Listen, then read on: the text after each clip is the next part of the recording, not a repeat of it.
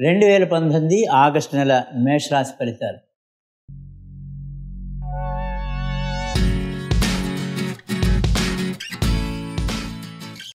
ఈ నెలంతా కూడా గురుడు ఎనిమిదింట సంచారం చేస్తూ ఉన్నాడు. అయితే ఎనిమిదింట ఎలా సంచారం చేస్తున్నాడు? లోహమూర్తిగా సంచారం చేస్తూ ఉన్నాడు. గురువుగారు మేషరాశి వారికి.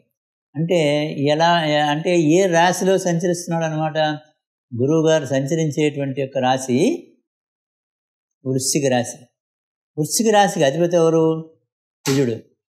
మరి ఇప్పుడు గురువు యొక్క గురుడు కుజుడు. చాలా మిత్రులు. కనుక ఇప్పుడు ఈ మేషరాశికి అధిపతి ఎవడు మేషరాశికి అధిపతి కూడా కుజుడే. కాబట్టి కుజ గురులు ఇద్దరు కూడా పరమమిత్రులు కాబట్టి ఎనిమిదింట సంచారం చేస్తున్నప్పటికీ కూడా గురువు యొక్క అనుగ్రహం ఈ రాశి వాళ్ళకి పూర్తిగా ఉంటుంది. కాబట్టి ఎంతో మనం కొద్దిగా శ్రమ పడితే ఈ రాశి వాళ్ళు ఫలితాలు వస్తాయి. అంటే అధిక శ్రమకి లోనవుతారు. ఇక శని ఏ విధంగా ఉన్నాడు? అంటే వీళ్ళకి ఏంటంటే ధనం ఒక పది రూపాయలు వస్తే ఆ పది రూపాయలు ఖర్చు అయిపోగా కొన్ని ఎమర్జెన్సీలకు ఇంకో రూపాయి కూడా మనం ఎక్కడైనా బయట తెచ్చుకుని పదకొండు రూపాయలు ఖర్చు చేయాల్సినటువంటి అవసరం మేషరాశి వాళ్ళకి ఈ నెలలో ఉంటుంది. ఎందుకంటే గురువు ధన కుటుంబ విద్య వాహన ఈ కారకుడు అయిన ఆయన యొక్క ఆధిపత్యం కొద్దిగా కాస్త అననుకూలంగా ఉంది కాబట్టి పూర్తి అనుకూలంగా లేదు కాబట్టి వీటిల్లో కొన్ని మనకి బాధలు ఎదుర్కోవాల్సి ఉంటుంది. అయితే అవి వృశ్చిక రాశి కాబట్టి వృశ్చిక రాశిలో సంచరిస్తున్నాడు కాబట్టి గురువుగారు వృశ్చిక రాశి గతిపతి కుజుడు కాబట్టి చెప్పుకునేది మేషరాశి కాబట్టి మేషరాశికి అధిపతి కుజుడే కాబట్టి అంత ప్రళయం ఏమి ఉండదు. వారిద్దరూ కూడా పరమమిత్రులు కాబట్టి కుజ క్షేత్రంలో గురువు ఉన్నాడు కాబట్టి కొంత అనుకూలంగానే ఉంటుంది మేషరాశి వారికి గురు యొక్క సంచారం. శని ఏ విధంగా ఉన్నాడు? ఈ నెలంతా కూడా తొమ్మిదింట్లో సంచారం చేస్తూ ఉన్నాడు. తొమ్మిది అంటే తొమ్మిది అంటే భాగ్యస్థానం. భాగ్యరాశిలో భాగ్యరాశిలో సంచరిస్తూ ఉంటే మన భాగ్యంగానే ఉంటుంది కదండి. దాన్ని వేరే చెప్పేది ఏముంది? కనుక శని యొక్క అనుగ్రహం చాలా సంపూర్ణంగా ఉంది మేషరాశి వారికి. ఈ నెలంతా కూడా ఆగస్టు నెలంతా కూడా చాలా అనుకూలంగా ఉన్నాడు శనిగ్రహం కాబట్టి కొంత వీళ్ళకి ఆరోగ్యం బాగానే ఉంటుంది. ఏది వచ్చినప్పటికీ కూడా తట్టుకొని కాస్త ముందుకు వెళ్ళగలుగుతారు. అంతవరకు ఏమన్నా బీపీలు అవి ఈ రాశిలో వాళ్ళకి ఉంటే అవి నార్మల్గా ఉంటాయి ఈ నెలంతా కూడా ఏం ప్రాబ్లం లేదు. ఎందుకంటే శని అనుకూలంగా ఉన్నాడు కాబట్టి బీపీలు వీటన్నిటి మీద కూడా శని ఆధిపత్యం వహిస్తాడు కాబట్టి శని యొక్క అనుగ్రహం సంపూర్ణంగా ఉంది. కాబట్టి ఆ బీపీలన్నీ కూడా నార్మల్లోనే ఉంటాయి. ఇక రాహు ఎలా ఉన్నాడు? రాహు మూడింట సువర్ణమూర్తిగా ఉన్నాడు. చాలా బాగుంది. సువర్ణమూర్తిగా మూడింటి ఉన్నాడు. అంటే చాలా శుభుడు యోగదాయకుడు కార్యసిద్ధిని చేకూరుస్తాడు. అన్నింటా కూడా విజయం లభిస్తుంది.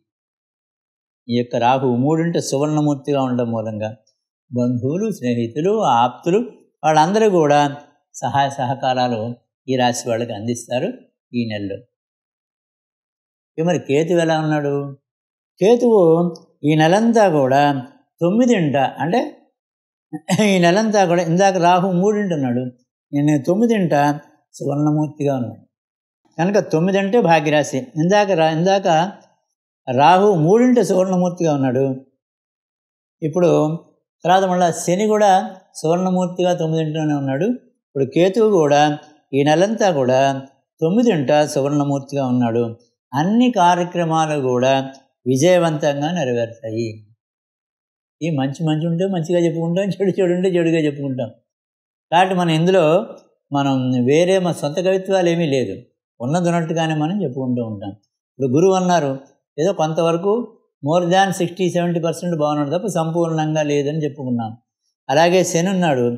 ఈ నెలంతా కూడా సువర్ణమూర్తి ఆయన సంచారం తొమ్మిదింట భాగ్యస్థానంలో ఉంది కాబట్టి చక్కగా ఉన్నాడని చెప్పుకున్నాం. అట్లాగే రాహు మూడింటి సువర్ణమూర్తిగా ఉన్నాడు కాబట్టి చాలా శుభుడుగా ఉన్నాడు కార్యసిద్ధి జరుగుతుందని చెప్పినున్నాం. అలాగే కేతు కూడా ఈ నెలంతా కూడా సువర్ణమూర్తిగా భాగ్యస్థానంలో సంచరిస్తూ ఉన్నాడు అని చెప్పి అనుకున్నాం. కాబట్టి విజయవంతంగా నెరవేరుతాయి. ఇప్పుడు రవి యొక్క సంచారం ఎలా ఉంది? రవి కర్కాటకం సింహం రెండు రాశుల్లో సంచరిస్తూ ఉన్నాడు. రవి ఒక రాశిలోంచి ఇంకో రాశిలోకి ప్రవేశించేటప్పటికీ ఒక నెల రోజులు పడుతుంది. అంటే ఫస్ట్ హాఫ్ సెకండ్ హాఫ్. ఇందులో మనకి రవి మొట్టమొదటి పదిహేను రోజులు ఈ కర్కాటక రాశిలో తర్వాత సింహరాశిలోను సంచరించడం జరుగుతుంది. ఇప్పుడు ఈ కర్కాటక సింహరాశిలో మనం చెప్పుకునేటువంటి యొక్క మేషరాశికి ఏమవుతుంది దాన్ని బట్టి సంచారం యొక్క ప్రభావం మనం చెప్పుకోవాలి అంటే ఊరికనే ఏదో చదువుకుపోతే ఆమెకి అలా ఉంటుంది ఇలా ఉంటుందని చదువుకుపోకుండా దీంట్లో ఉండేటువంటి యొక్క విశేషాలని కూడా మీ ముందుకు నేను ఉంచితే మీరు కూడా ఆనందపడతారు. ఓహో ఇది ఈ గ్రహాలు ఈ తిరగ ఈ సంచారము ఇలా ఉంటుంది అని కొంతగా ఈ శాస్త్రాన్ని కూడా మీరు కూడా నేర్చుకుని ఆనందపడతారు అన్న ఉద్దేశం చెప్పిన కొద్దిగా ఎలాబరేట్గా చెప్పడం జరుగుతుందని మనం చేస్తున్నాం అంటే కర్కాటక సింహరాశుల్లో సంచరిస్తుంటే మేషరాశికి ఏమవుతుంది? మేషం వృషభం మిథునం కర్కాటకం. అంటే రవి సంచరించేటువంటి కర్కాటక రాశి మేషరాశి వాళ్ళకి నాలుగో రాశి అవుతుంది. అలాగే దాని తర్వాత ఐదో స్థానానికి వెళ్తాడు. నాలుగు ఐదు స్థానాలు ఏ విధంగా ఉంటాయి? రవికి అంటే సామాన్యమైనటువంటి ఫలితాలుగా ఉంటాయి. కాబట్టి మేషరాశి వారికి రవి యొక్క సంచారం సామాన్య ఫలితాలను ఇస్తాయి తప్ప ఎక్కువగా లేదు. కనుక ఆరోగ్యం కోసం సంపూర్ణ ఆరోగ్యం కోసం ఈ మేషరాశి వారు ఆదిత్య హృదయ స్తోత్రాన్ని చదువుకుంటాం. చాలా మంచిది. తతో యుద్ధ పరిశ్రాంతం సమరే చింతయా స్థితం అని ఇవాళ యూట్యూబ్లో కానీ ఆదిత్య హృదయ స్తోత్రాల పుస్తకాల్లో కానీ చక్కగా దొరుకుతాయి. ఒక ఐదు నిమిషాలు పది నిమిషాలు మనం వెచ్చించి ఆదిత్య హృదయ స్తోత్రం చదువుకోవడం చాలా ఉత్తమం. మేషరాశి వారి కుజగ్రహం ఏ విధంగా ఉంది? కుజుడు ఎనిమిది ఎనిమిది వరకు కూడా అంటే ఫస్ట్ వీక్ వరకు కూడా కర్కాటకంలో ఉన్నాడు. ఆ తర్వాత సింహరాశిలో ఉన్నాడు. అంటే నాలుగు ఐదు రాశుల్లో ఉన్నాడు. నాలుగు ఐదు రాశుల్లో కుజుడు సంచరిస్తూ ఉంటే ఏదో సామాన్యమైనటువంటి యొక్క ఫలితాలు తప్ప ఎక్కువగా ఫలితాలు ఉండదు. ఎక్కడైనా కాస్త ఎలర్జీ వ్యాధులు వచ్చేటువంటి అవకాశాలు ఉన్నాయి. కుదురు సరిగా లేకపోతే.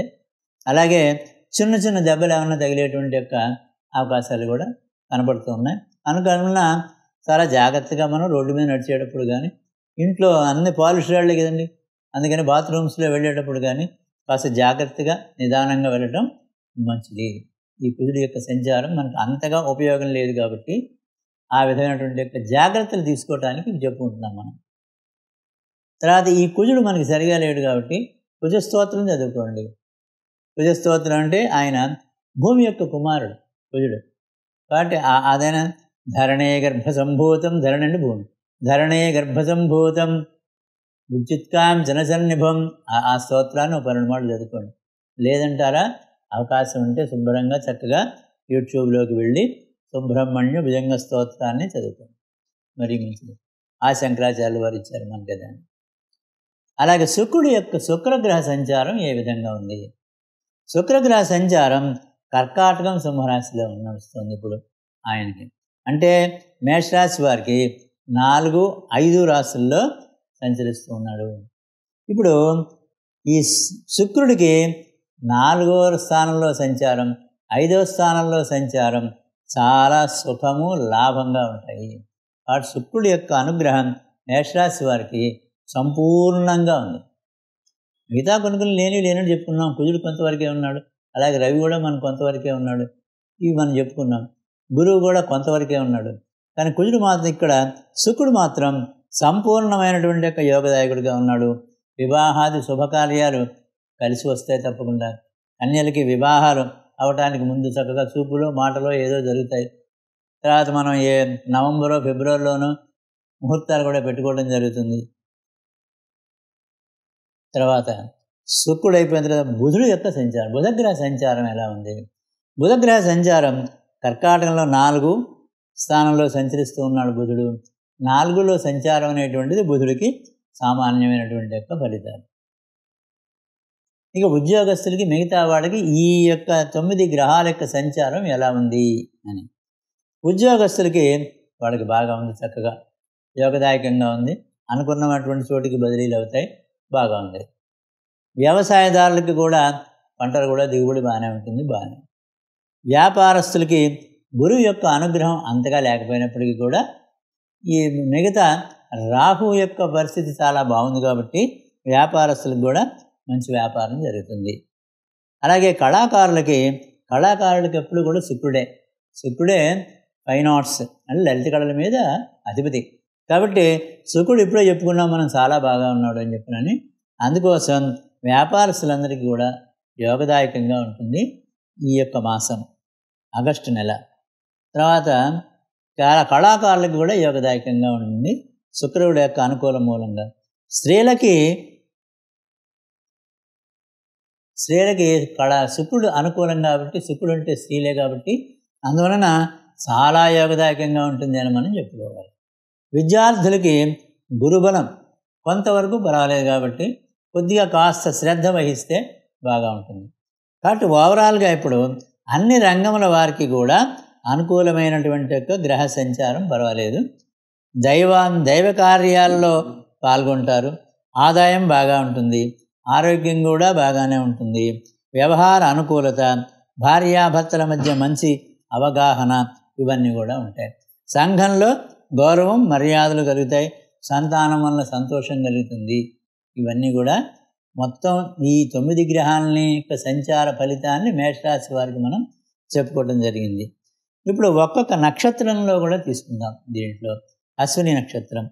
అశ్విని నక్షత్రానికి కుజుడు ఈ మాసాధిపతి ఈ నెలలో. కుజుడు మనకి ఎటువంటి ఫలితాలను ఇస్తాడు అని చెప్పినానంటే భూ భూవన సంచారంలో స్థిరాస్తులు కొనటం. దాంట్లో కొద్దిగా కొనేటప్పుడు కొన్ని చిక్కులు రావచ్చు జాగ్రత్తలు వహించండి. కాబట్టి అటువంటి తర్వాత రక్త సంబంధమైనటువంటి హిమోగ్లోబిన్ తగ్గటము లేకపోతే పెరగటం ఇది ఇలాంటివి కొన్ని కొన్ని ఉన్నాయి. ఎలర్జీ వ్యాధులు కూడా కుదిరిస్తాడు. కాబట్టి అశ్వనీ నక్షత్రం వాళ్ళు తప్పకుండా ఇందాక చెప్పిన విధంగా కుజ స్తోత్రమైనా చదువుకోండి. లేదా సుబ్రహ్మణ్య భుజంగ స్తోత్రం ఆది శంకరాచార్యులు వారు మనకి ఇచ్చారు. దాన్నైనా చదువుకోండి. ముప్పై మూడు శ్లోకాలు ఉంటాయి దాంట్లో. ఒక్కొక్క శ్లోకం చదువుకోగానే కాసిన నీళ్ళు చెంచా నీళ్ళు పళ్ళులో పూసుకోండి. ముప్పై మూడు చెంచాల నీళ్ళు పళ్ళల్లో వస్తాయి భక్తి శ్రద్ధలతో వచ్చినటువంటి ఆ ముప్పై మూడు చెంచాల పళ్ళల్లో వచ్చిన నీళ్ళే తీర్థం అవుతుంది ఏదో స్వామివారికి ఆ పటం దగ్గర పెట్టుకుని ఏదో పట్టి బెల్లం ముగ్గులో పండు పాలు నైవేద్యం పెట్టండి. అదేమో మనకి ప్రసాదం అవుతుంది. ఈ తీర్థము ఆ ప్రసాదం తీసుకోండి. కుజుడు యొక్క సంపూర్ణమైన అనుగ్రహాన్ని పొందుతారు. అసలు ఓవరాల్గా మేషరాశి వాళ్ళు మేషరాశి కుజుడే అధిపతి. కాబట్టి అశ్విని నక్షత్రం వాళ్ళ కూడా తప్పకుండా చేసుకోండి. తర్వాత ఈ రాశిలో ఉండేటువంటిది భరణీయ నక్షత్రం. భరణీయ నక్షత్రానికి వాళ్ళకి రవి అధిపతిగా ఉన్నాడు. రవి అధిపతిగా ఉంటే రవి అధిపతిగా ఉండేటువంటి దాని యొక్క ఈ విశేషాలు రాజకీయమైనటువంటి యొక్క గోష్ఠి కొంతవరకు ఉండే అవకాశాలు ఉన్నాయి ఇది వీళ్ళకి. తర్వాత అధికారులతోటి చిక్క గొప్ప పరిచయాలు ఉంటాయి. ధైర్యం ధనలాభం విజయం ఇవన్నీ కూడా చేకూరుతుంది. స్థానచలన కూడా ఉంటుంది. ఇది భరణీ నక్షత్రం వారికి ఉండేటువంటిది. వారు కూడా ఇందా చెప్పినట్టు ఆదిత్య హృదయం చదువుకుంటే చాలు. కుర్తిగా నక్షత్రం వారికి కుర్తిగా మేషరాశిలో ఒకటో ఒక పాదం ఉంటుంది. ఆ ఒక పాదం కుర్తిగా ఒకటవ పాదం మేషరాశిలో ఉంటుంది. వారికి బుధుడు ఈ మాసాధిపతిగా ఉన్నాడు. బుధుడు యొక్క ఫలితం మనం చదువుకోవాలంటే వ్యాపారాభివృద్ధి గృహ జీవితానందం సుఖభోజనం తర్వాత చక్కగా యుక్తిగా వ్యవహరించడం బంధుమిత్రుల సమాగమములు గృహమందు శుభాలు జరగటం యత్నకార్య సిద్ధి ఇవన్నీ కూడా బుధుడు ఫలితాడు చక్కగా మంచి ఫలితాలు ఉన్నాయి. కృతికా నక్షత్రం వారికి. కృతికా నక్షత్రం వాడు విష్ణు సహస్రనామం చదువుకోండి. అదృష్ట సంఖ్య ఈ రాశి వాళ్ళకి మూడు ఒకటి రెండు ఐదు తొమ్మిది తేదీలు కానీ వాళ్ళ మీద వచ్చే ఆ సంఖ్యలు కానీ కూడితే మొత్తం మీద వచ్చేటువంటి ఈ ఈ అంకెలు వచ్చేటువంటిది కానీ ఆది సోమ గురువారాలు కానీ చాలా బాగా ఉంటాయని చెప్పినని చెప్పుకుంటూ ఈ మేషరాశి వారికి నవగ్రహాలు కూడా ఏకాదశి స్థానంలో ఉండేటువంటి యొక్క ఫలితాన్ని పరమాత్మ ప్రసాదించాలని చెప్పిన ప్రార్థన చేస్తూ సర్వేజనాసుకుని సుఖం భవంతు స్వస్తి.